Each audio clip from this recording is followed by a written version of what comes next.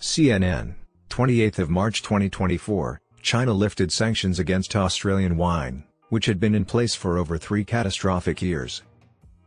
China has recently declared the removal of severe tariffs it had imposed on Australian wineries for over three years. These penalties severely impacted the Australian wine industry and were a significant source of contention between the two trading nations.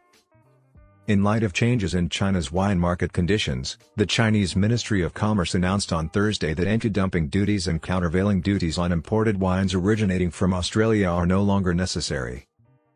Two days before the conclusion of a five-month review period mutually agreed upon by Canberra and Beijing, Australia withdrew a dispute from the World Trade Organization.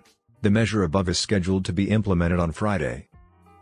The decision eliminates duties on Australian wine exports to China, previously valued at over 1 billion Australian dollars, $653 million, down to as much as 218%. The Australian government approved Beijing's decision, stating it occupies a pivotal moment for the Australian wine industry. As of 2020, the imposition of duties by China on Australian wine rendered the export of bottled wine to that market economically unviable for Australian producers, the statement continued. We express our gratitude and recognition to Australian wine producers and grape growers for their resilience and assistance throughout adversity. The implementation of wine tariffs was among a series of trade restrictions Beijing imposed on significant Australian exports beginning in 2020 in retaliation for political grievances. Amid a thaw in relations between China and Australia, Chinese authorities have progressively lifted a number of these restrictions, including those on coal, timber, and barley. Winemaker's choice of crostini The nation's severely impacted winemakers applauded Beijing's action. They have been contending with an oversupply due to waning global demand and years of substantial revenue losses from China. Bruce Tyrrell, who operates Tyrrell's Wines as managing director in New South Wales, told CNN that many individuals in the Australian wine industry will be reaching for a fine glass of wine tonight feeling considerably more optimistic about their futures. He said the industry has suffered significant damage and uncertainty as a result of China's absence over the past three years. The future of the Chinese market following the COVID-19 pandemic is unknown, but having access to it is far preferable to not having it at all. The Chinese Ministry of Commerce initially implemented up to 212% tariffs in November 2020. The following March, a final ruling established anti-dumping and countervailing duties ranging from 116% to 218% over five years. According to National Industry Group Wine Australia, the wine duties had a severe impact on a key Australian industry, with sales to China falling 97% in 2021 compared to the previous year or by nearly 1 billion Australian dollars in value and 90 million litres in volume. Value-wise, international exports decreased by 30% during the same period. In 2022 to 2023, annual wine production will be at its lowest level in over 15 years, according to Wine Australia. The United Kingdom and the United States became the nation's most valuable export markets in the same year.